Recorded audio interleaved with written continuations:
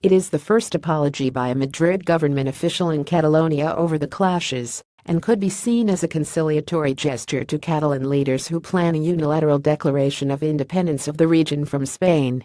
Firemen hold the people in front of Spanish Guardia Civil officers outside a polling station in Sant Julià de Ramis on October 1, 2017, on the day of a referendum on independence for Catalonia banned by Madrid. AFP The Spanish government's official representative in Catalonia apologized on Friday for the violent response by Spanish police to protesters who were attempting to vote in a banned independence referendum in the region on Sunday.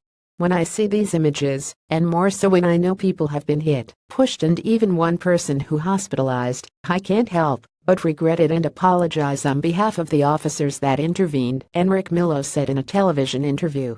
It was the first apology by a Madrid government official over the clashes and could be seen as a conciliatory gesture to Catalan leaders who plan a unilateral declaration of independence of the region from Spain.